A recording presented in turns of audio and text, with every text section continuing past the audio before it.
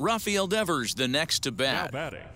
The third To right field and Rafael. absolutely hammered. Devers. Forget about making a play on that ball. It's way out of here. Back to back home runs.